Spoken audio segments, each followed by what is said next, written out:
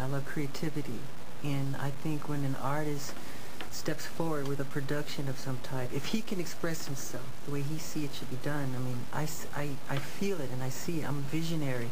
So uh, if I can give that, I, I do. And that's, that's what I love to do with music, with, with film, with dance, with, uh, I love the arts.